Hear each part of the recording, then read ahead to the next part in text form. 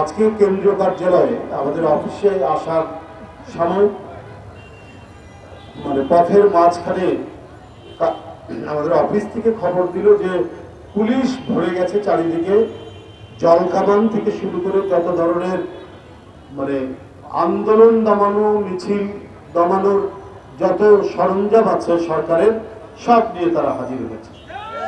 আমি বিষয়টি নিয়ে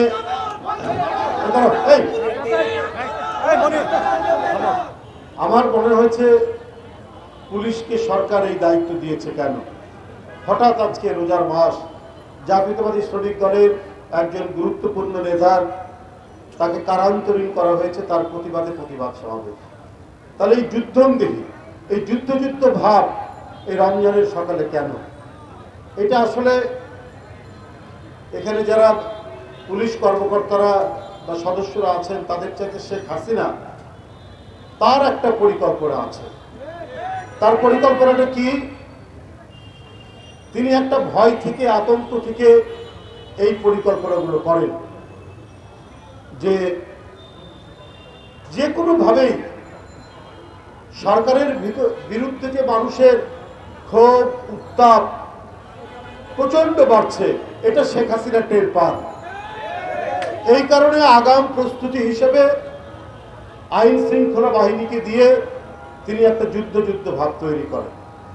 কারণ উনি তো ভালো করে জানেন, চারটা লেবুর দাম আশি টাকা।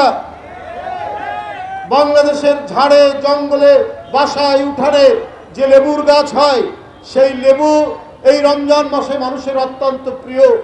মানুষ লেবুর শরবত খায়। চারটা লেবুর দাম আশি টাকা। শেখ হাসিনা জানে মানুষ কত ক্ষুব্ধ। মানুষের মধ্যে বিদ্রোহের আগুন জ্বলছে। এই আগুন দাউ দাউ করে চলে কখন শেখ হাসিনার সিংহাসনের দিকে এগিয়ে যাবে, এই ভয় তিনি, এই প্রস্তুতি গ্রহণ করেন। আজকে বাজারে যাওয়া কেউ যেতে পারে? শ্রমজীবী মানুষ আজকে মাটির সাথে মিশে- গেছে। তার কাছে রোজা কি?